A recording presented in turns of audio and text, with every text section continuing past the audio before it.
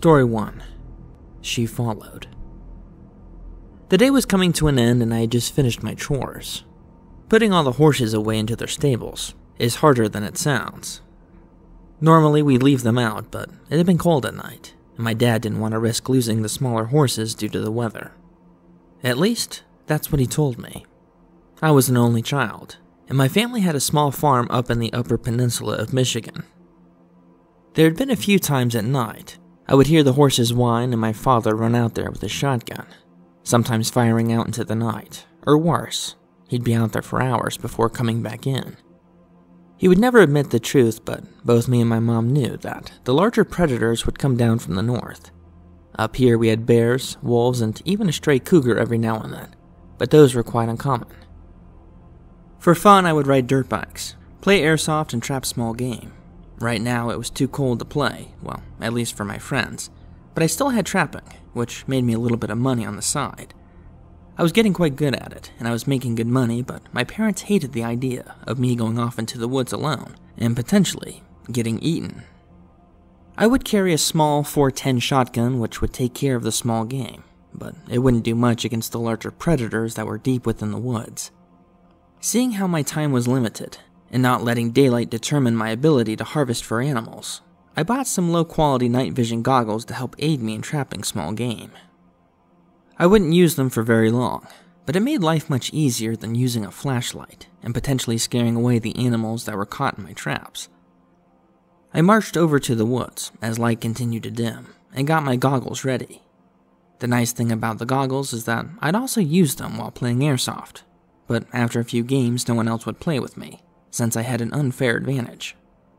I had a couple dozen traps set up, many of which were by small streams that ran deep into the woods, but I had become more adventurous and began setting up more beyond. In recent events, this proved to be beneficial, as I was able to capture a couple of mink and badger, which are hard to come by. I went to my first couple of traps, and some of which had been set off, but nothing was in them. This was a common issue, but I wasn't surprised. A lot of times this was due to the traps going off on their own, mainly because not being properly set, which was frustrating. However, these were not my high valued locations, so it was okay. The sun had completely set now, and I turned on my goggles. My vision was filled with a bright green view of the woods. The technology was quite impressive. I continued checking on more traps and finally found a brown rabbit stuck in one of my snares.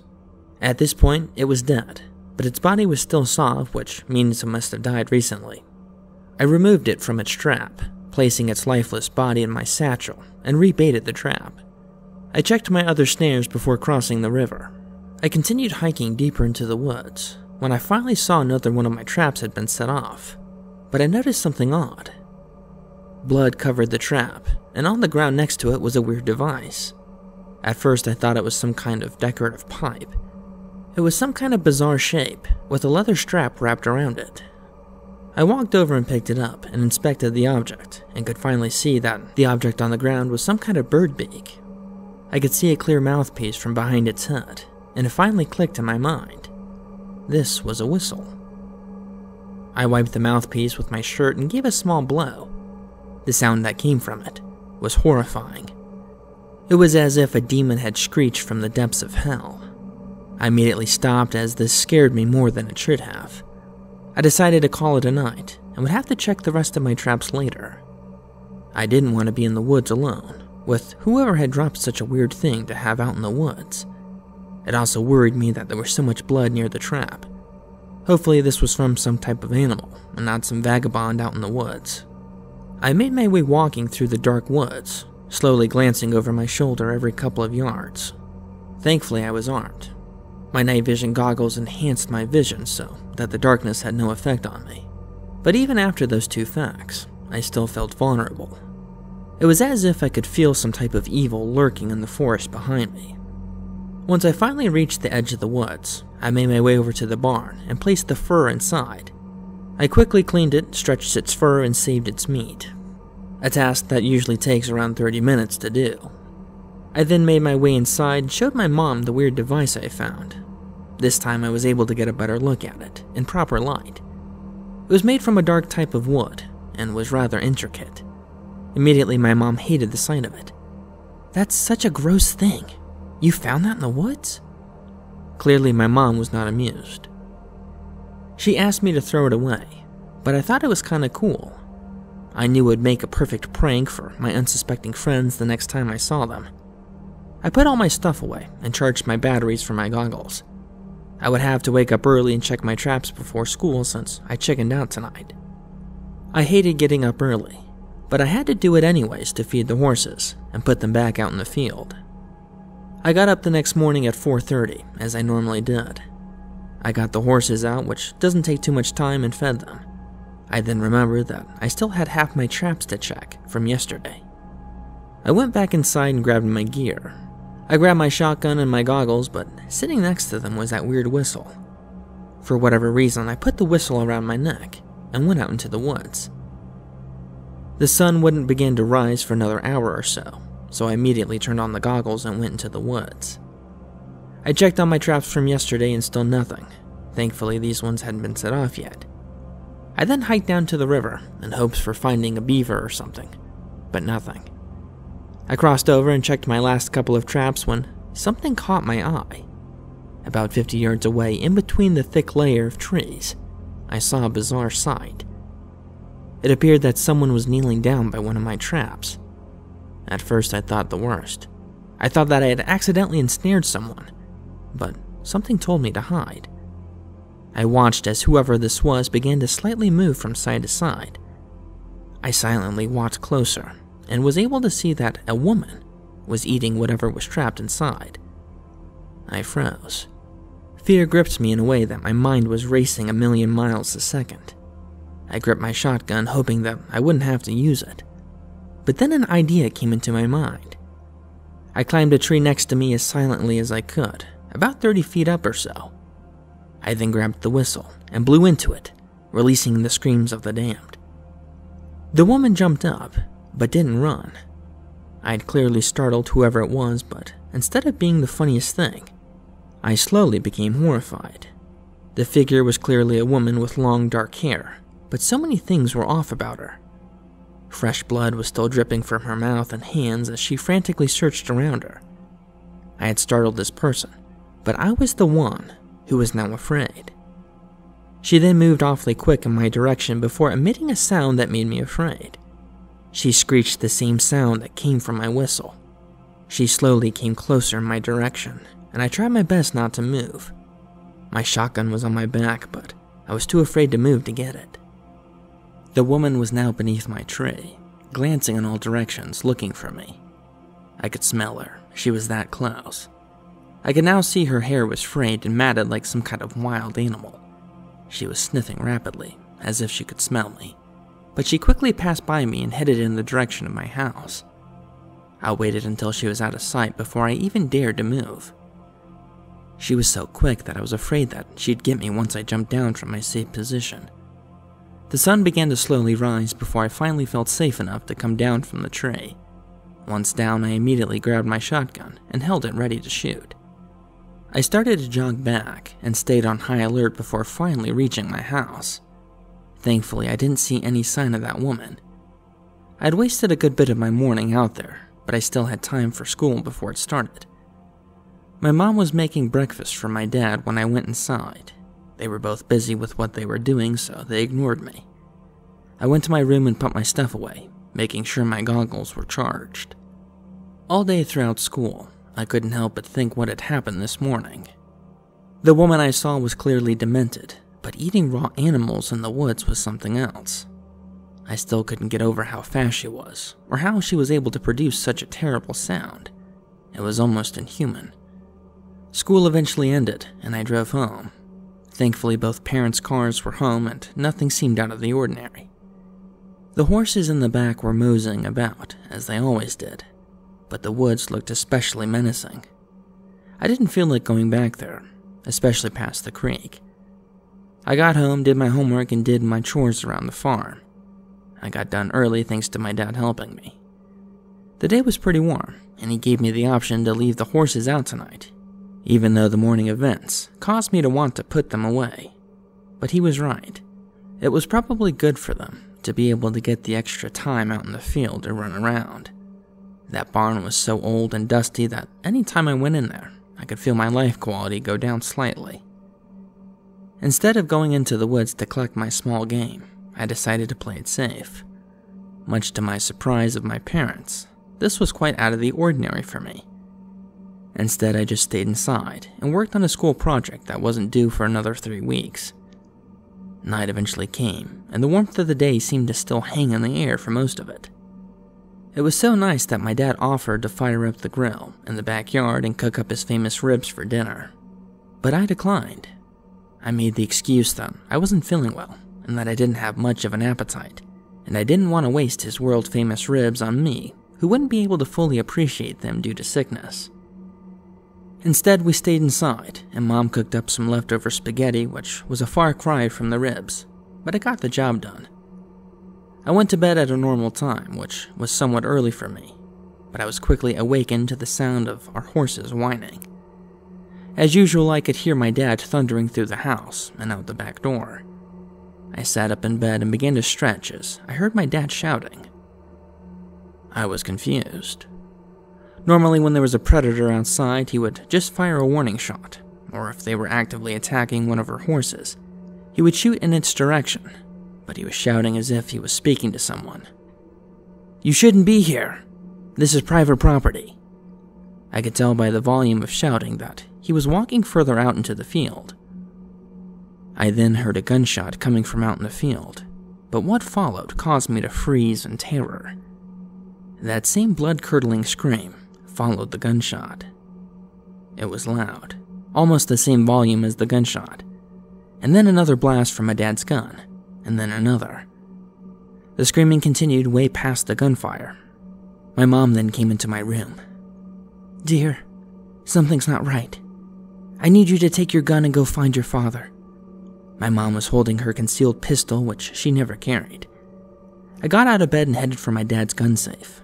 My mom punched in the code and opened it, and I grabbed a 12 gauge and loaded it. I was so panicked and worried I didn't even think to grab my goggles thinking that my dad should just be out in the field. I opened the back door and went outside. The floodlights facing the woods illuminated the backyard with artificial light, permitting me to see a good portion of the field. I could see all the horses ran to one side of the field except for one that lay lifeless on the far end. I could see the grass around it, littered with spurts of blood. I knew what had happened before I went outside, but it only confirmed what terrors waited for me out in those woods. Before I left my porch, my mother handed me a maglite, and I sprinted in the direction of the horse. I didn't know what to do, but I went in that direction. I thought my father would have done the same. I got about halfway to the horse, and I could see his shotgun laying on the ground. My dad was one heck of a shot, and not much scared him. I couldn't imagine something grabbing him without him putting a couple of holes in it first. I looked around for any signs of blood or whatever this thing was, and I was right. There was a thick black liquid with small chunks of flesh heading out into the forest. I didn't hesitate, and I rushed into the woods looking for any signs of my dad. It didn't take long for the trail to slowly fade, but the smell began to get stronger. I knew I was close. I shined my light all around when it finally landed on a dark mass, dragging my father away by his leg. He was laying face down, and his leg was bent at a terrible angle, as the same woman from this morning limped away, struggling to move him. I didn't give any warning, and I aimed for her head. I knew at this distance it would only pepper her, but I just hoped that it was enough for her to stop and turn around, giving me her full attention.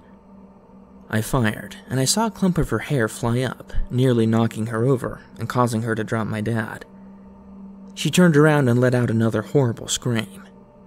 I cocked the shotgun, and to my surprise, this was enough to scare her. She sprinted off into the woods, screaming while doing so. I rushed over to my dad, who was unresponsive. I checked his pulse, and by some miracle, he was still alive. I dropped the flashlight and the shotgun and began to pull on the back of my dad's shirt back into the backyard. I tried not to look at him, as he was torn up so badly. My strength could only take us so far for so long, I got him back to the edge of the woods and had to leave him there. I sprinted to the barn and grabbed a saddle and some rope. I called over one of the horses, but they were still too spooked to come near the edge of the woods. Tears filled my eyes as I screamed for any of the horses to come. Finally, one did, and I saddled up in record time and tore off into the direction where I left my dad. Thankfully, he was still there. I tried to pick him up, but he was too heavy. I then did the only thing I could do and tied a loose loop around my dad's torso and tied it to the saddle. I made sure to walk the horse back slowly as to not cause more damage to my dad. I got him back as close as I could to the house. By that time, my mom was crying outside. The police were called once my dad went missing, so they got there not much later. We got to the hospital, and to my surprise, he ended up surviving, but at a very high cost. His leg was shattered and almost needed to be amputated. His abdomen had several deep cuts and scratches that caused internal bleeding, which required several surgeries, but the worst part was his memory. He had suffered such head trauma that it took him several weeks to be able to recognize me or my mother. Since then, my mother had sold that farm. We moved in with my mother's parents, who were a couple of states away. Needless to say, we're all quite glad that we don't have to go back to those woods.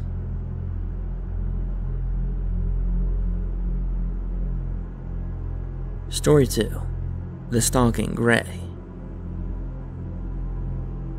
My dad and my uncle took me and my brother on one of those guided hunting tours out in Alaska. You know the kind, where you pay a lot of money for some guy to take you out into the middle of the woods to hunt any type of game you want for a small fortune. My dad and uncle had started a company a while ago, and since then has made them way too much money. I'm not complaining. I'm currently 14, and my younger brother is 10. I have a younger sister, but she was not included in this trip for obvious reasons. In order to get to where we were needing to go, we needed to fly in a small airplane to a local airport and drove another couple hours out in the middle of nowhere. My dad and uncle were wanting big game trophy, something to look good in their pretentious corporate office or executive lobby. I think my dad was going for some type of large moose, and my uncle wanted a grizzly bear Obviously, my brother and I were just there for the ride, and to hopefully get a chance to shoot something while we were out there. If I was being completely honest, I think my mom wouldn't let my dad go hunting for a week while she was home with all the kids. So I guess that's the reason why we all went. We landed in a barren brown field airstrip with small buildings lining the woodline. It was freezing there. An old man was waiting for us with a green lifted truck and pretty decent sized tires. Anywhere else, a truck like this would have been a menace. But given the area, this looked more practical than anything. As we exited the plane, the man slowly waddled his way over and introduced himself as Val. He was an older man, probably in his 60s. He had a long white beard and a huge gut, making him look like a flannel version of Santa Claus, except he didn't like to smile. Sitting on his waist was a huge revolver and a tan colored holster that looked custom. This would be our hunting guide, and basically caretaker for the next week. My dad and uncle didn't have a survival bone in their body, so Val was basically the only person going to keep us alive out in the middle of nowhere. After a brief moment of stretching on the landing strip, we all loaded up into the green truck. My brother and I sat in the back with my uncle, while my dad sat up front. The drive was maybe an hour or two, but it felt longer.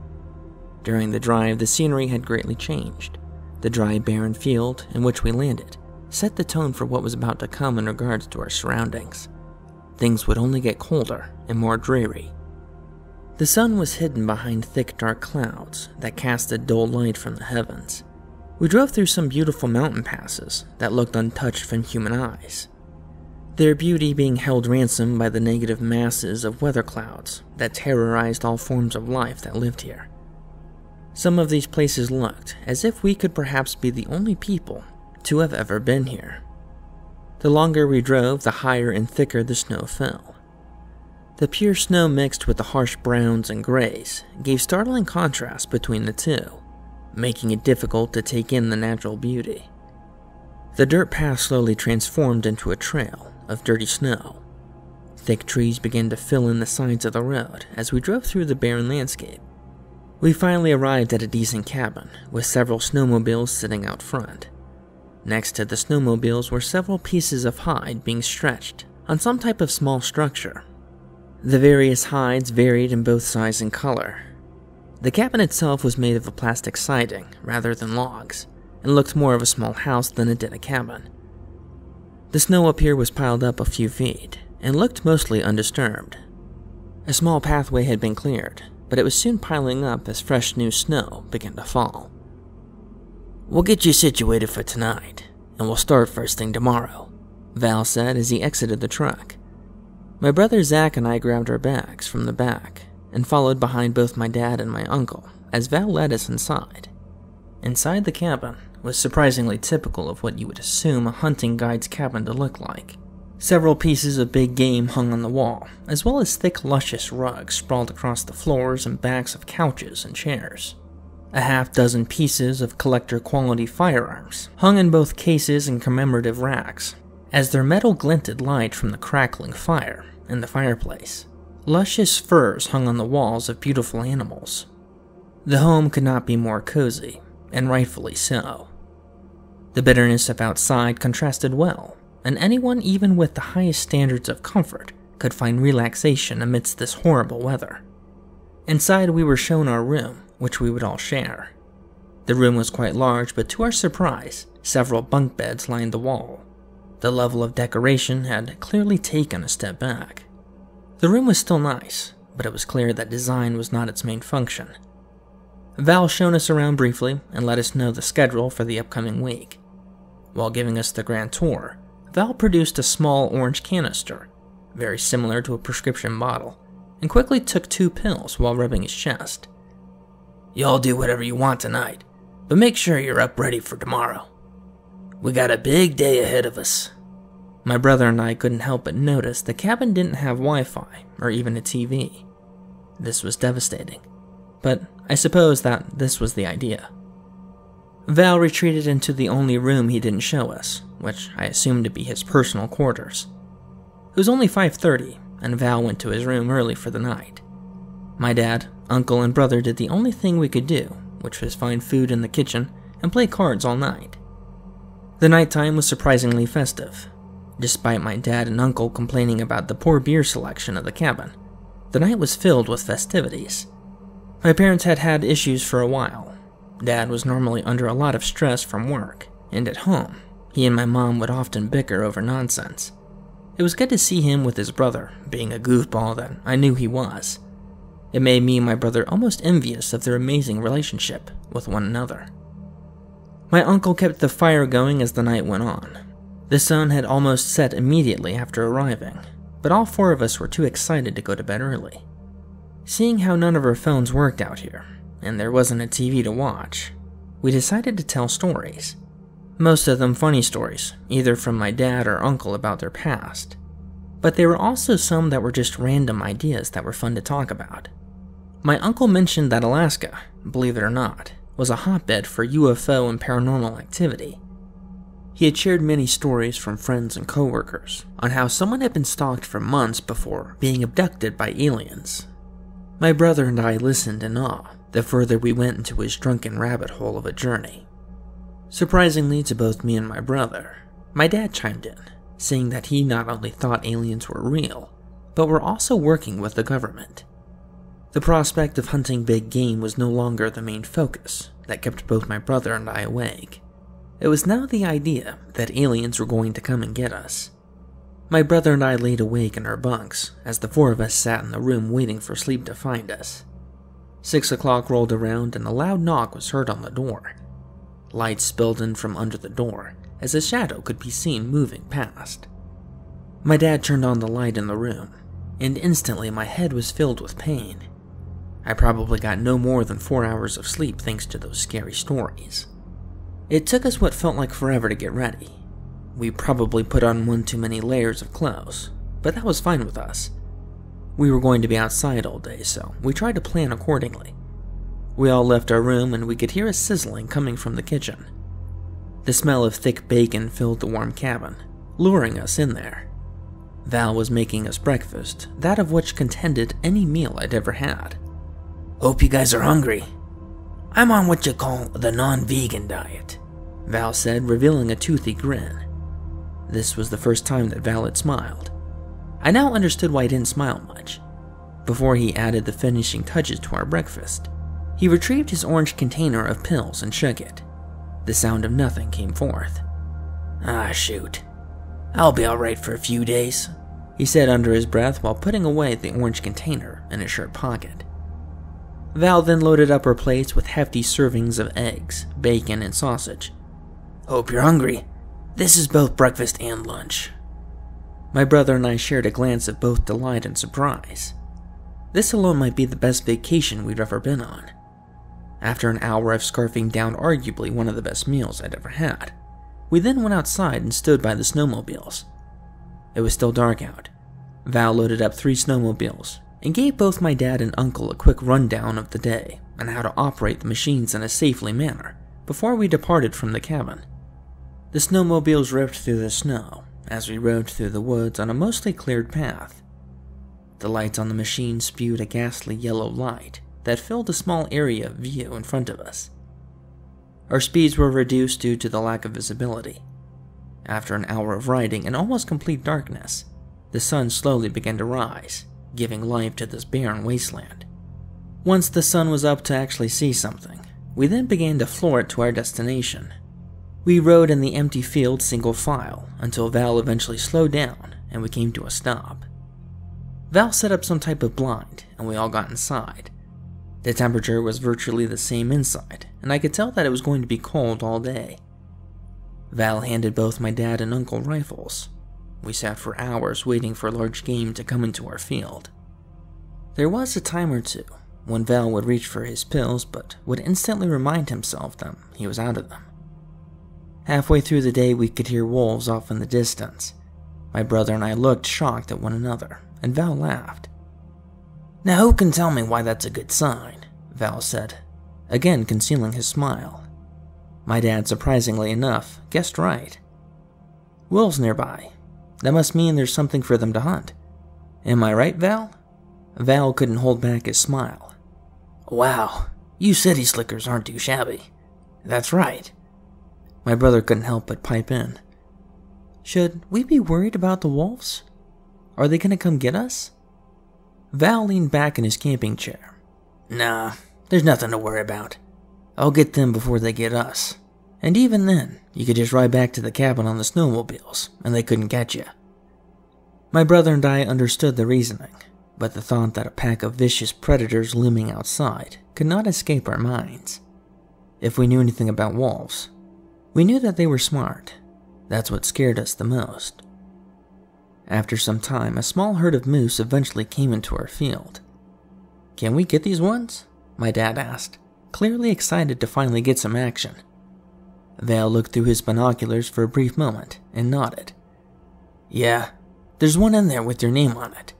We gotta let them get close enough. The moose slowly meandered their way over. Val made sure to point out which one to shoot, and my dad took aim. A brief moment of silence hung before a loud crack boomed from his rifle. A small mist of pink exploded on the moose's shoulder, and they all scattered. The moose then took off and ran towards the woods that was a ways away in the distance. Val looked through his binoculars and back at my dad. You hit him solid, but it wasn't a kill shot. Let's just hope we can find him. Val exited the blind and we all followed. He revved up one of the snowmobiles, and he and my dad hopped on and drove off into the direction of the moose. We waited back at the blind with my uncle as Val and my dad searched for the moose. It was around 2 in the afternoon, and we all began to get hungry. Dad and Val had been gone for about 20 minutes before we heard howling of the wolves in the distance. I wonder how far they are, my uncle said, giving both me and my brother a fright. Don't worry, guys. I'll let them eat me before I let them eat you, he said, providing nearly no comfort in that statement. Finally, we could hear the roar of the snowmobile heading back. We all hopped out to see the two riding at a slower pace with a large dark mass sitting on the back. No way! That's awesome, Uncle Terry shouted as the two rode back victoriously. However, upon return, something was terribly wrong. Dad was now driving, and Val looked to be slouched over, leaning on my dad's back. He rode up fast and jumped off. We need to head back now. I think Val's having some type of heart attack. Val sat on the snowmobile, clutching his chest and out of breath. He was pointing weakly before falling off the snowmobile. We all rushed over and sat him up, but he was unresponsive. He was still breathing, but barely. Okay, we need to get him out of here and back into town. We pushed off the prize moose off the snowmobile and loaded up and got out of there. We could now see the wolves a few hundred yards away, licking their chops, seeing how we were going to leave them a big juicy moose for them to eat. We tore off in the direction where we thought the cabin was, in hopes for the best. Dad and Vale rode on one snowmobile, and my brother and I rode with Uncle Terry. Dad was doing his best to both drive and keep Val upright, but it was difficult. We ended up having to sit me behind Val to hold him up so Dad could drive. Val was heavy since he was no longer conscious. I fought back tears as I had to hold this man's limp body as we drove back to the cabin. It started to get late when Dad stopped again. At this point, we should have been back by now, but our scenery had hardly changed. We were still in this huge field. The clouds were working against us by holding back the sun yet again. Dad slowed up, and we all met to discuss what to do. I couldn't help but notice that our fuel levels were less than half. Does any of this look familiar to you guys? My dad inquired. Uncle Terry and my brother were useless. We were clearly lost. We took a minute to check on Val when a familiar sound rang off in the distance. It was the howling of the wolves. We couldn't see them, but we could definitely hear them. It was likely that this was another set of wolves, since we rode so far away from our hunting blind, but that still didn't change the fact that they were nearby. My uncle then pointed off into the distance and began to shout. I see a light, he shouted. We all looked, and sure enough, there appeared to be a radio tower way off into the distance, glowing a slow flashing red every few seconds. Terry, I don't think that's useful for us, my dad said. What do we even do with that? If that's a radio tower, that means there must be people nearby. It's our best bet. My dad pondered the thought and how much gas it would take for us to get there. Right then, as if on cue, a set of wolves howled again. Okay, let's check it out. We rode towards the tower, but it was clear that this would take us some time. It was likely that the gas in these snowmobiles would give out way before. Fear began to set in, as we were clearly lost. Not only that, but if we didn't find shelter soon, we were going to be subjected to one of the worst possible deaths, which would either be freezing to death or eaten alive. We were only a few miles away from the tower when our snowmobiles began to slow down. My dad began slamming his hand on the machine, as it was clear that we just ran out of gas. We pulled off and gathered together. At this point, Val was no longer breathing, and he hadn't been for quite some time. The only plus side was that Terry's snowmobile still had some gas in it, since it had less people on it. We were now in trouble. The realization that death was probably an option began to set in all over us. My dad got off the snowmobile and began loading whatever firearm he had. He took Terry's pistol and handed it to me and I began to cry again. I'm gonna need you and your brother to keep riding towards that light and try to find help for us. Uncle Terry and I are gonna stay back and take out whatever wolves we can. Terry hopped off the snowmobile and began to sling a rifle on his shoulder. Don't worry, guys. We're right behind you. We'll just keep walking till we catch up to you. Everything's gonna be okay. His false sense of calm was enough for me to wipe my tears and jump on the snowmobile. I'd never driven one of these before, so my dad had to give me a quick rundown of how to operate it before I could drive it. I double checked where to drive and I took off with my brother, leaving my dad and uncle behind. The red light became brighter the darker it got. It only took us 20 minutes, but we finally arrived at the tower. To our surprise, at the base of the tower was a small building. We hopped off the snowmobile and tried the door, but it was locked. We tried knocking, but obviously no answer. The building was probably some maintenance shed or something, but it was better than nothing. I did the only thing I thought to do, which was to shoot the door handle. I shot it once, but to no effect. I held the gun closer, and with two hands this time, and fired again. The kick from the gun caused me to drop it. I picked it up and prepared for a third shot, but saw that the door was slightly opened. A sense of relief washed over me as I pushed myself inside, only to be confused for what waited for us. Once inside, my brother and I came face to face with an unusual sight. In front of us, leading downwards, was a long set of stairs. Dull red lights lined the wall, showing us that the stairs descended a good ways down. What is this place? My brother whispered. Making sure not to startle anyone, I put the gun away, just on the off chance that we came across someone that lived here. The stairs were metallic, and the walls were a gray concrete. I slowly walked down the stairs with my brother behind me. The red bulbs produced enough light to make the next few stairs visible, but not much after. After a few minutes of uneasiness, we reached the bottom. At the bottom of the stairs, a long hallway spanned in both directions. Small yellow lights were placed at predetermined intervals, and it appeared that the doors were in between them. The question of what this place was, and what it was doing here, was not immediately answered. If anything, this added more questions. I was personally torn at the moment.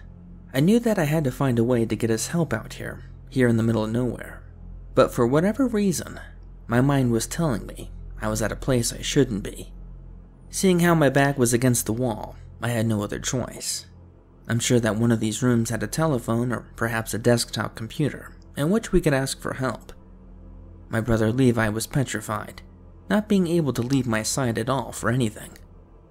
It took me a few minutes, but I finally came up with a game plan. We need to check all the rooms and see if there's anything that we could do to get us out of here. Levi didn't respond, we went to the first door, and surprisingly enough, it was unlocked. Inside the room were a bunch of filing cabinets and other office supplies except a telephone and a computer. We proceeded down the line of each room until we finally came across something bizarre. Instead of a room in between the lights and the hallway, was what looked like some kind of holding cell.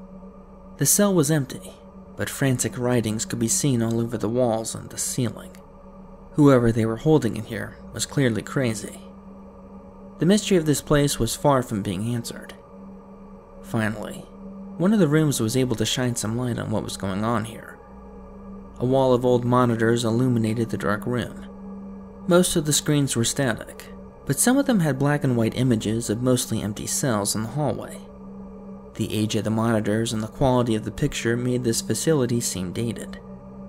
By the looks of everything so far, this place was not only abandoned, but at one point was probably ran by the government or some bizarre security company. Some of the cells were empty but had a dark liquid scattered across the holding area. Below the monitors were buttons, knobs, and dials, seemingly to control this entire facility. Finally, a red telephone sat in the corner of the control board, with a red flashing light above it. It took me a second to realize that this was our way to get out of here, my stomach growled, and my head began to hurt from the lack of food. It was around 6 now, and me and my brother had gone 12 hours without any food or water. I picked up the phone, not caring about the potential consequences, other than being rescued from this Arctic wasteland. I picked up the phone, instead of a dial tone, a quick sequence of beeps and tones rang, and then a voice. A confused voice. Department of Defense. Who is it, Base Whiskey? This was unexpected. I was stunned and not prepared to talk to someone so quickly. Uh, this is Garrett. We're in trouble. The man that we were with is dying, and we found this building by accident. A brief silence hung on the phone. The person who had answered began typing furiously. Before I could say anything, the operator came back on. Listen, Garrett. Where you are now is not safe. You need to leave immediately. I just dispatched a helicopter to come and get you, but you need to leave the facility right now. Your safety's on the line. But it's dark out, and a pack of wolves have us cornered inside. The operator didn't seem to care. Listen, kid, I can't tell you much, but there's something in there that's much worse inside that base, and you need to leave. The chopper will be there in just under two hours. If you can hold off for that long, then you'll be okay. Great.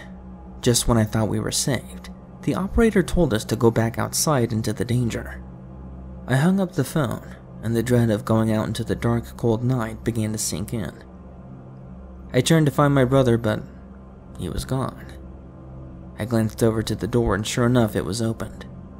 He must have snuck out over the short period of time it took me to talk to the operator.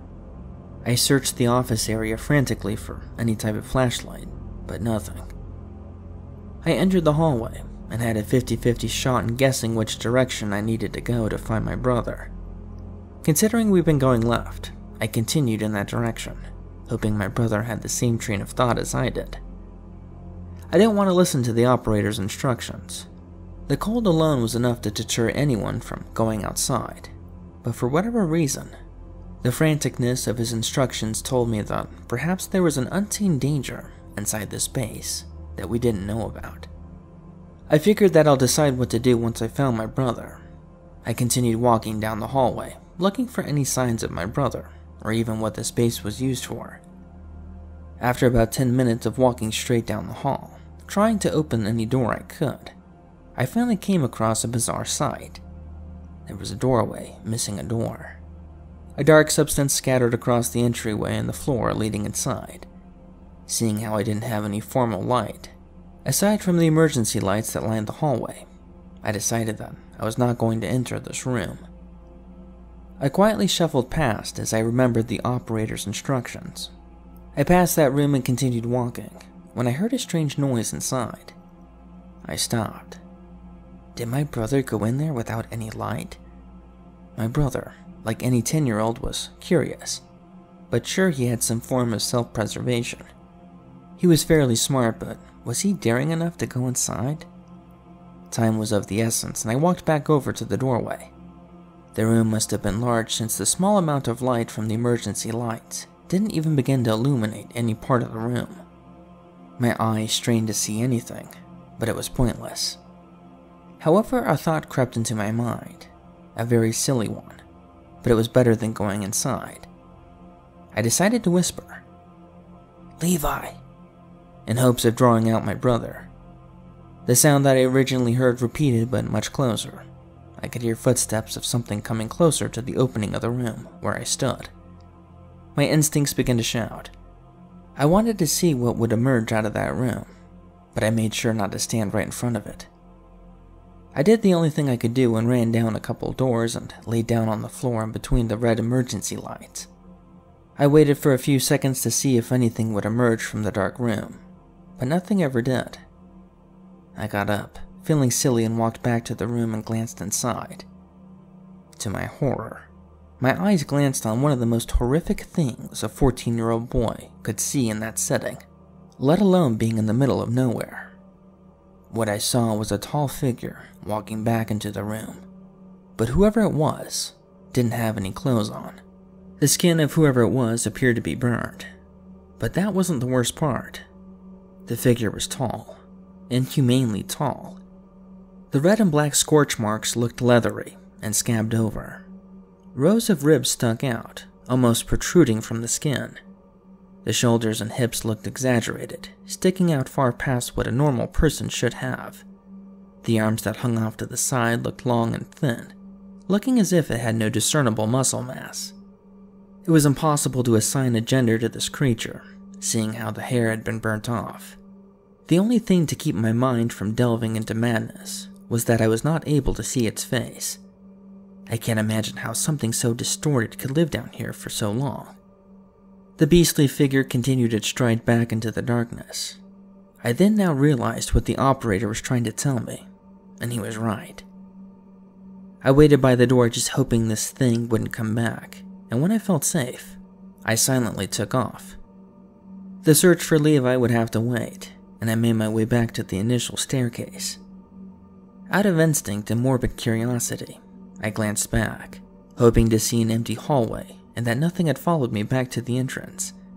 But a wave of terror washed over my body as I could see a tall figure standing outside of the room, staring at me. The red light made visibility incredibly difficult, but surely there stood a hulking figure standing in the middle of the hallway. At that distance, no features were discernible, and I thank God for that. I didn't wait to see what it did, I just sprinted.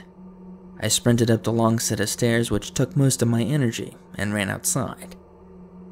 I pushed open the door and fell into the snow. It was dark out and colder than I remember. A single yellow bulb lit up the entrance door, giving a small area of comfort in such an inhospitable part of the world. I pulled out my pistol and held it close as I waited for help to come. I listened for help in the howling wind, but I had no clue how far out they were. The coldness made everything difficult, even breathing. My eyes hurt from the frosty air, but sure enough, they were able to detect another figure walking towards me in the snow. This one was bundled up, but its identity was unknown. I pointed my weapon at the figure, but I kept my finger off the trigger. My arm shook as the person got closer, and it wasn't until they got within 30 feet that I realized that it was my uncle. I lowered my weapon and ran to him. He didn't even see me coming, and I hugged him tight. Uncle Terry, you're alive. Where's my dad? Uncle Terry's face was red and black from the brutal wind and cold.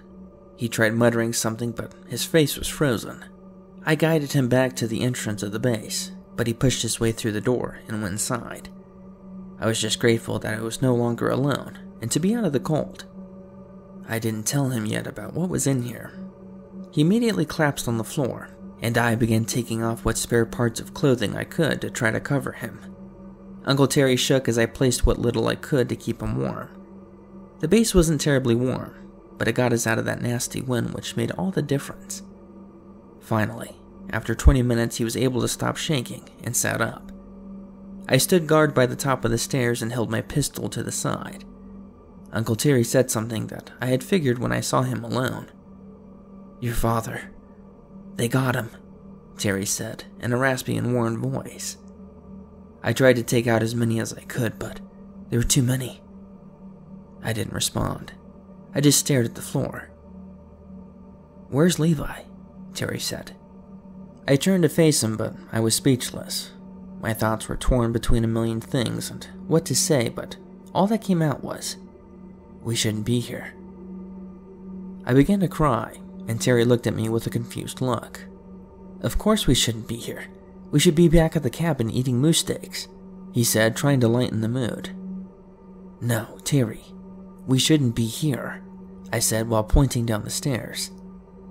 There's something down there. Levi and I got split up and I saw something. There's some kind of sick man down there. I don't think he saw Levi, but I think he saw me. Uncle Terry stood up and hugged me. I handed him my pistol. I also called for help, though, I said while trying to keep my crying down. Terry looked at me with an astonished look. You did? What did you say? His countenance went from a dead man to a man of action, almost immediately. They said that they're sending a chopper, but it would take them just under two hours. That was an hour ago. They also told me that something dangerous was here. I think it was the man that I saw. Terry walked over to the stairs and looked down. You talked to somebody? On the phone? And you said that someone else is here? Show me. Terry, please, don't make me go down there, I said, whimpering. Garrett, it's gonna be okay. You said your brother's down there with some strange man. We need to find him. My uncle added a layer of comfort, but whatever that thing was was clearly something I wasn't supposed to see. Seeing how I was still hesitant, my uncle assured me that even if there was the scariest man alive there with them, he was no match with my uncle with a gun. He then held my hand and began walking down the stairs. I hesitated at first, but I soon found myself following behind my uncle back into the place I never wanted to go. Once we reached the bottom, I instructed him in the direction in which I saw the phone. I told him that that was also the same way where I saw the strange man. My uncle then yelled, startling me, my brother's name, but no response. Keep an eye out for your brother, he said as we walked in the direction of the monitor room. Fear gripped me as my uncle slowly walked down the hallway. I knew that ahead of me was a death trap, but it was also the only way that I wouldn't be alone. Seeing how my alternatives were to go back into the freezing night, I went against my instinct and slowly walked down the dark hallway. My decision was immediately proven wrong, as both my uncle and I heard crying coming from the dark depths of the long hallway. The scream was gut wrenching, and immediately caused both my uncle and I to stop in our tracks. But not only that, but the screams of my brother could be heard coming from the same direction. The fear of safety immediately was overshadowed by the unfortunate reality that whatever this thing was that was down here with us had my brother. My uncle sprung into action, and I followed as closely as I could behind him, but of course I fell behind. He immediately turned into the room where I saw the tall naked man, and he paused. The screams from both my brother and the tall man continued as I approached the doorway. I stopped and looked at my uncle as he hesitated. Fear consumed both of us, but the screams inside must have pushed him over the edge as he entered into the dark room. I waited outside as gunshots were heard from inside, briefly illuminating the dark room. My uncle got two shots off, and I could briefly saw the tall man crouching in the corner and then standing to face my uncle. I waited for a third shot, but it never came. My brother's cries had stopped and were now replaced by my uncle's screams. It was one thing to hear a child scream, but a grown adult crying from pain and fear is another. I did the only thing I could do and turned and ran. I ascended the stairs a second time, all the while my uncle was crying for help. I felt useless, knowing that I was about to share a gruesome death much like my brother and uncle. I got to the top of the stairs and rushed outside, the screams were no longer able to reach my ears, as the howling wind of the Alaskan night bit at my face. My tears caused my face to hurt even more, as the cold caused them to freeze. I just laid down, hoping that the chopper would get here before the cold would take me, or even the pack of wolves that were surely not too far off. My body was numb, and I was so tired. My stomach was now completely empty, and it began to cause actual pain. The chopper holding both pilots and a squad of soldiers finally caught sight of the radio tower that was still blinking its dull red light amidst the dark backdrop. The weather was terrible for flying, yet they were approved to fly out to the secret location for an emergency extraction. The pilot buzzed over the intercom system, saying that he'd get as close as he could to the entrance, but that it was going to be bumpy due to the wind from the sky, the pilots could see the entrance door ripped off the hinges and a pack of wolves fighting over a lifeless body laying face down in the snow. One of the soldiers opened the side door to the chopper and fired off into the side of the pack. The wolves scattered almost instantly, and the chopper was able to land. The four soldiers rushed over to the body, but not much remained. They were puzzled. The soldiers were only informed that this was a rescue mission, and nothing else. They knew nothing about this base or what was inside. However, Commander Quentin was as brave as he was sharp.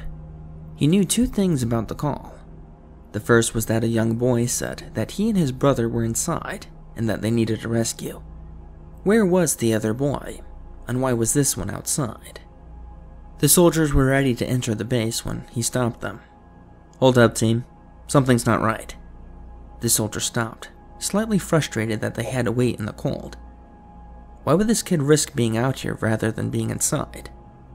The soldiers were clueless.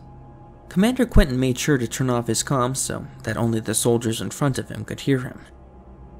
I've heard stories about places like this, out in the middle of nowhere. Some were research stations where scientists worked on top secret projects, while others were secret blacklisted holding facilities for criminals and other high value targets. So, what's your point? Private Powell piped up. My point is, Private, is that there's something down there that made this poor kid take his chances with the wolves.